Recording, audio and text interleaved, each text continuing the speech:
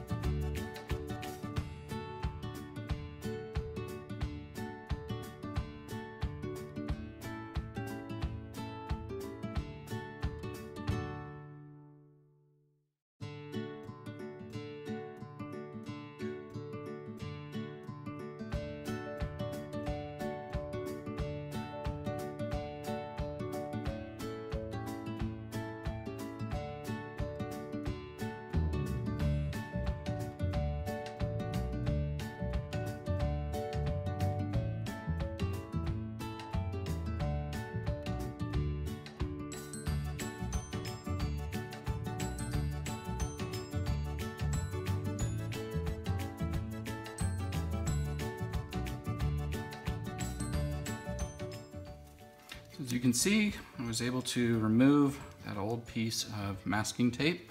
It was on the end of the box. Now have a tape-free um, original box. Gone ahead and unfold, uh, unfolded that.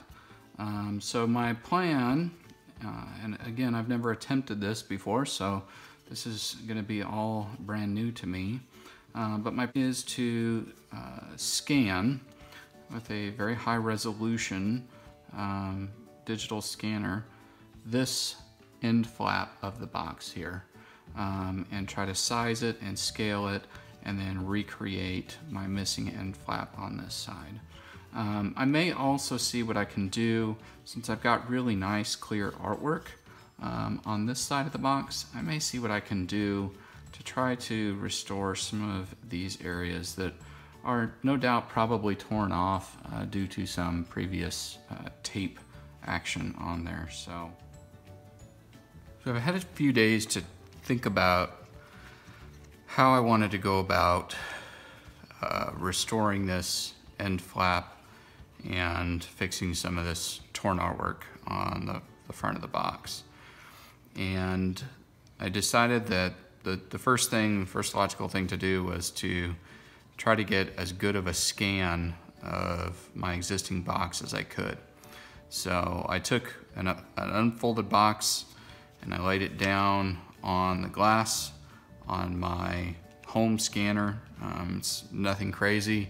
It's a uh, about a 600 DPI scan. And I took scans of both sides of the box. Um, this side obviously so I could get the end flap and then this side obviously so I could get the uh, side of the box artwork. I was able to take those scans into Photoshop and manipulate them into a composite image um, that is an unfolded version of a regular box. So this flap matches here, this flap matches here, the bottom flap matches here, and the back of the box with the missing flap here. Um, I didn't do, you know, I didn't want to take this box apart. I didn't do the little end flap that would normally be tucked inside. This was really done as a kit of parts really that I could cut or use any of these pieces that I needed um, to repair any part of a box that might be missing. And so this was my first image um, that I put together. All in all, I'm pretty happy with this. Uh, the only drawback or only negative or complaint I can really make about this is that my blues uh, didn't quite match up. Um, I was actually really happy with the yellows. The yellows were almost exact, but the, the blues were a little off and my greens were not quite as bright as I wanted. This is a little more dull, muted, kind of a, an olive green and, you know, not a John Deere green. So I knew my image was good. Uh, all I was really dealing with was color correction. And so I made a few adjustments in Photoshop to try to get that closer. So this one definitely got a little bit darker, but still not quite green enough. As I got to this one, we're definitely getting much closer with the green, but the blue was getting a little bit into the wrong color. Here you can see I went way too far from where I wanted to be. this is way, way too dark. Um, the green looks much better. Uh, the green and yellow is actually really great. Um, but the blue is just a complete miss. So I dialed that back a little bit. I got to this copy, which the green looks really good. The blue is awfully close. It's still not quite there but we're definitely, you know, in the right range of where we want it to be. And my final copy that I've ended up with is this set here, where my yellows look really good, the green is almost an exact match, and my blue is probably about as close as I'm gonna be able to get it on the, the printers that I'm using right now. So I'm really, really happy with this. Um, so this is what I'm gonna use for my replacement end flap. And to do that, I'm just going to cut out only the parts, really only the parts that I need um, from this box. And I printed this on a pretty heavy duty uh, paper. Um, it's, I don't know, we call it cover in the office. It's got a, a pretty, you know, thick weight to it.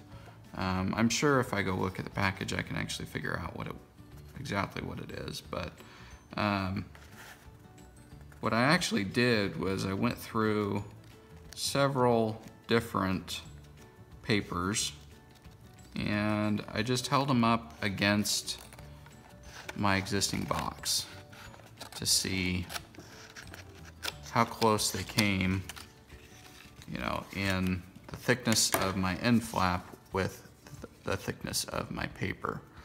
The other thing I wanted to account for is, you know, this is not our final product. This is actually going to get backed with my paper tape when I make the attachment. So I wanted something that was really, really close to the thickness of the original box um, and would still leave me enough room that as I add that paper tape backing to it, that it would be about right. So here you can see our original box end flap and my reproduction box end flap. Um, so that looks pretty good. I'm going to trim off this end here.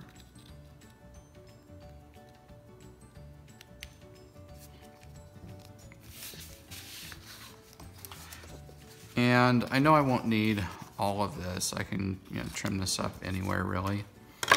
So this is the piece that I need.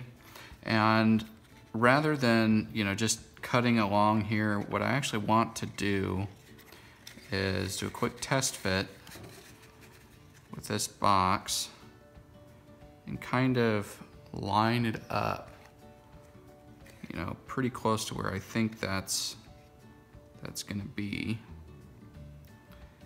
And then I wanna mark that um, along that edge.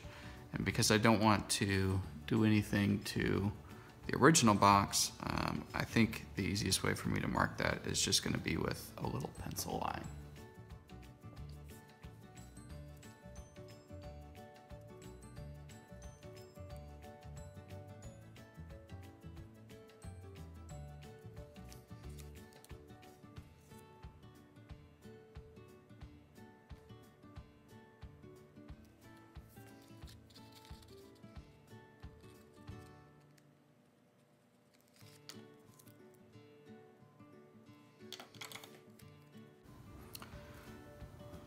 Once I've got my pencil line, I want to very carefully cut along the shape of that line. And what I'm trying to do is actually account for kind of the uneven edge of the tear in that original box. So with those cuts, now you can see I've got replacement flap that matches perfectly along that cut edge. So the next thing to do is to prepare this to attach.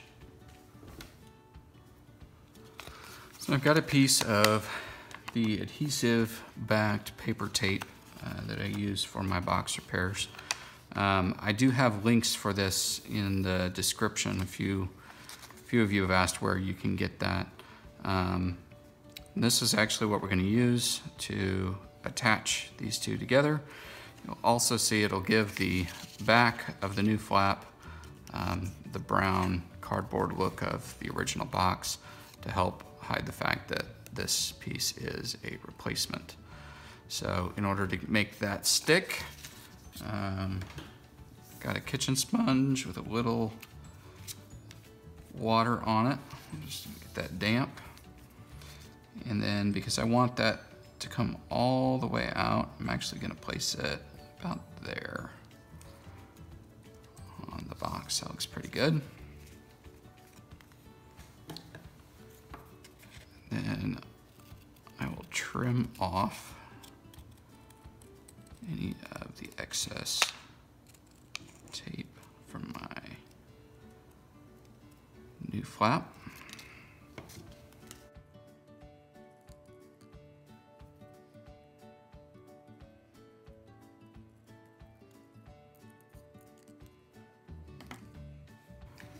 Do a quick test fit, make sure that that fits really nice and seamless. That's actually looking pretty good. Pretty, pretty happy with that.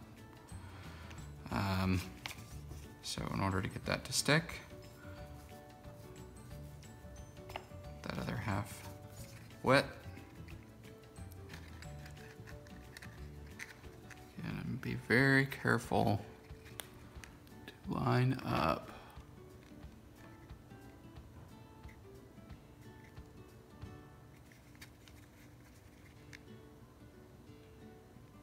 All those little pieces.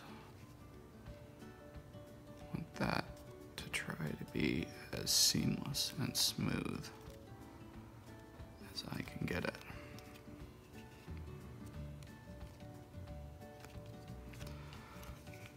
To put this under a weight just to let it sit and dry smooth and I'll come back when that's had a chance to set. Our box has had a few minutes now to kind of dry. So the last thing I want to do to complete that end flap repair is just press that. Uh, again, I'm using a regular household iron with a medium heat setting and just want to help that tape to go off and get all of that adhesive um, to really set on that paper tape. Oh, that actually looks pretty good. And that completes our repair of our box and flap. Before I bend this, I want to make sure, and kind of learn this through trial and error, that to bend this the first time, I want to bend it against a straight metal edge. Um, so what I'm going to do is line that up with the crease mark in the artwork. I'm just to kind of score a little edge. Give me something to kind of break that paper against. And line that up on the back side. We'll do first fold around that metal straight edge.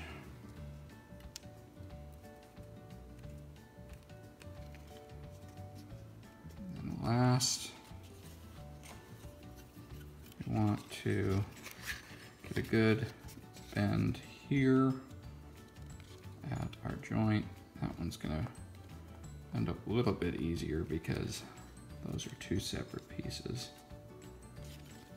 So, there we go. And we have our replacement end flap on the box. Yeah, that actually looks like fits pretty good. So the next thing that we need to tackle is what to do about these rips on the surface of the box. And honestly, having never done anything like this before, I really needed to do some research. And what I found is that a lot of times for especially important historical documents or artifacts, when they get a rip or tear, they'll replace or they'll uh, reproduce the artwork that's on there on a translucent uh, layer of material, sometimes linen or muslin or very light tissue. Um, the only material that I have that I'm familiar working with that's similar to that is this. Um, this is trace paper. Uh, sometimes it's called bum wad or tissue, um, but it's a translucent paper um, that's used uh, to, you know, overlay different designs. And it's something I, I work with all the time in my day job. So what I did was I took one of my test prints that had an area for the artwork and I took a blank sheet and I taped down over the area of the print um, a layer of this trace. And then I ran it back through my printer and what I was left with was a copy of the print of my artwork that is on that translucent material. So this is what I'm gonna use to try to restore these torn areas um, on my original box.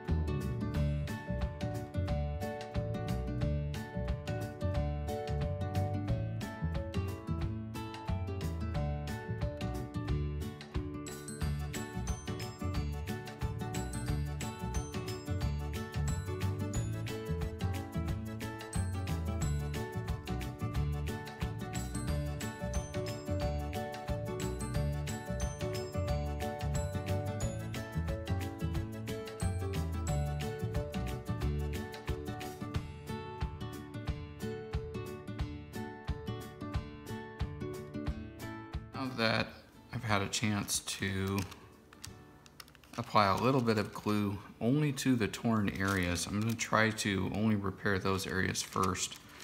It, you know, worst comes to worst and I have to do an overlay of the whole piece. I, I still have uh, an extra of this, but that was my goal was to try to restore just the ripped areas only on the box. So to start. I'm gonna try to do that. And one of the nice properties of this trace material is once it comes into contact with any water, moisture, glue, any sort of liquid, um, it kind of turns translucent or transparent.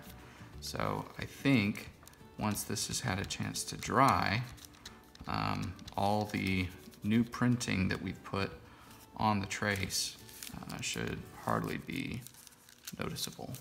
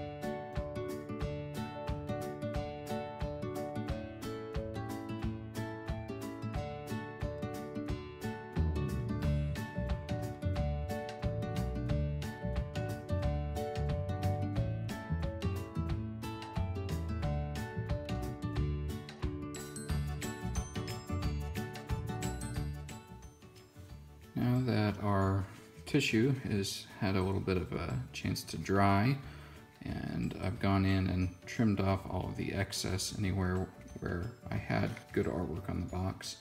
Um, so that's left me just with repairs only in the areas that were, were torn um, and those have all been now glued. So the last step in this is to just do a final press of the box. Now I do want to be careful especially on my repaired sections um, because the printer that I used to do these is a laser printer so it uses toner not ink and toner is heat reactive. So as I kind of go over this just to firmly set everything that's there, I, I want to move a little bit quicker than maybe I would um, to press a normal box.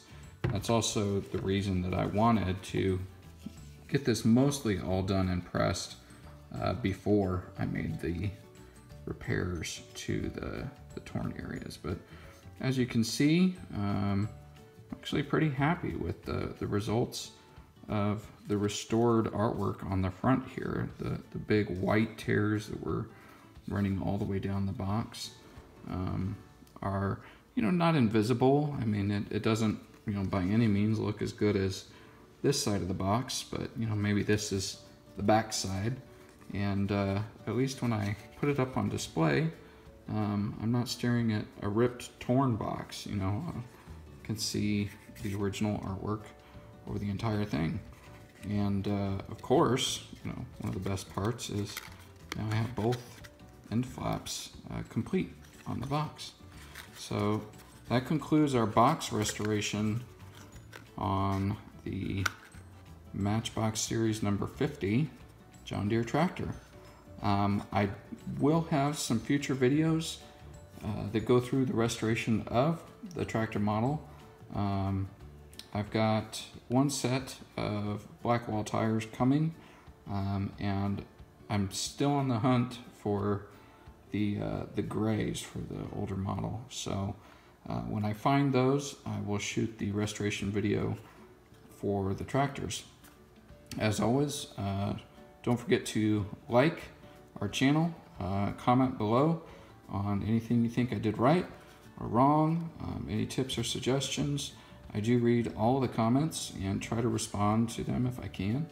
And uh, most importantly, don't forget to subscribe so you can catch all of our future and upcoming videos.